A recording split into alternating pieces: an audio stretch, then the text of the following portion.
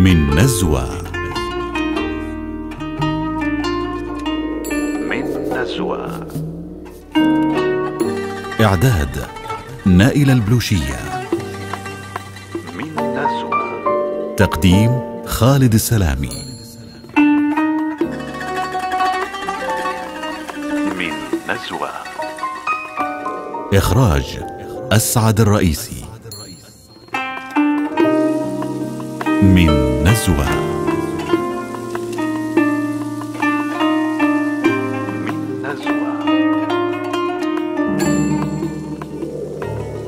مستمعينا الكرام نواصل معكم سلسلة حلقاتنا في الحديث عن جامع سعال في نزوة.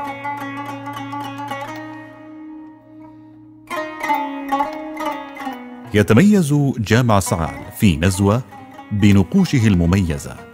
وقد تمت قراءة كل النقوش المكتوبة وتفسيرها وتمثل كلها آيات من القرآن الكريم أو عبارات دينية ما عدا إشارتين إلى المحراب ذاته حيث تشير أحد النقوش إلى الشخص الذي أمر بعمل المحراب وهو العبد الراجح رحمة ربه أحمد بن إبراهيم بن محمد السعالي وهو شخص لم يتم التعريف به.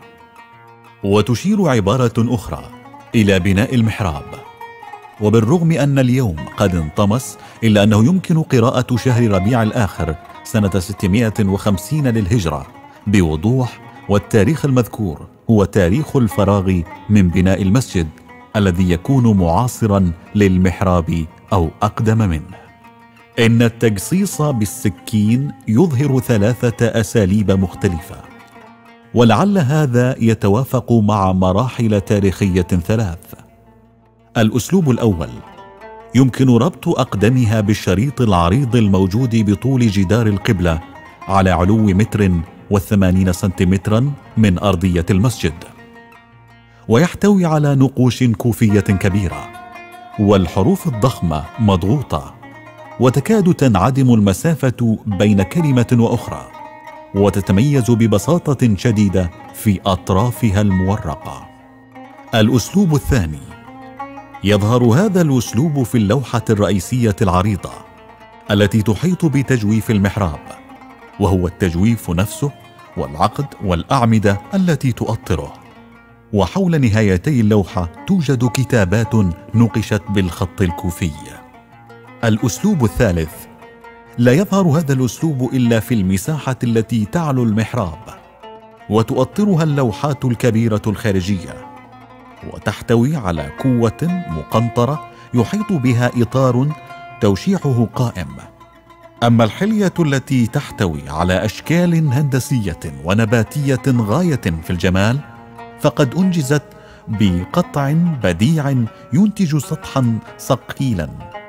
أما الحلية التي تحتوي على أشكال هندسية ونباتية غاية في الجمال فقد أنجزت بقطع بديع ينتج سطحا صقليا لامعا يعكس الضوء.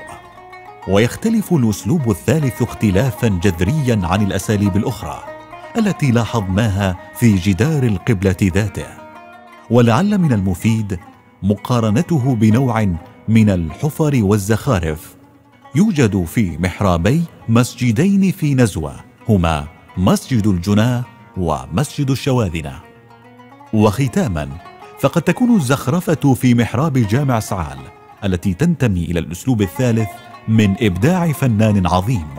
ينتمي إلى جماعة كان من بينها من أبدعوا زخارف مسجدي الجناه والشواذنة ولهذا فإنه يعد ترميما أو تبديلا للمحراب القديم. الذي شيد خلال النصف الأول من القرن العاشر الهجري السادس عشر الميلادي. وهناك فرضية ثالثة. ترى أن الأسلوب الثالث ربما عكس تأثر المعمار العماني بمدارس نحاتين بالقص من غير العمانيين. نشطوا بدايات القرن السادس الهجري الثالث عشر الميلادي. إن الطلاء الرقيق للأشكال النباتية في الأسلوب الثالث يمكن مقارنته بالأعمال الجصية السخية التي تكسو جدران ضريح يحيى إمام زادة في فرامين. وربما اظهرت تاثير الفنانين الفرس أيام توسع الدولة السلجوقية وهو ما يمكن ملاحظته في اليمن وشرق أفريقيا. وربما أثرت بشكل مباشر أو غير مباشر على الفنانين العمانيين الذين كانوا يعملون في نزوة.